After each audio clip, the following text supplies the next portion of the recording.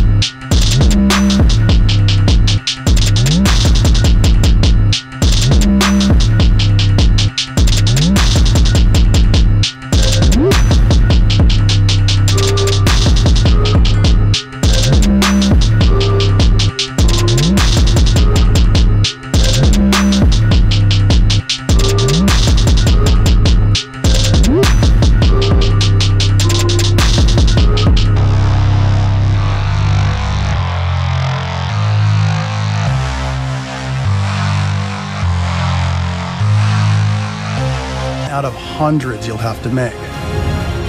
But it allows you to carve out your own world, your own city from the apocalypse. Each player's game experience will be unique. And by the way, this is just what happens in the day. At night, well, things tend to get a lot darker.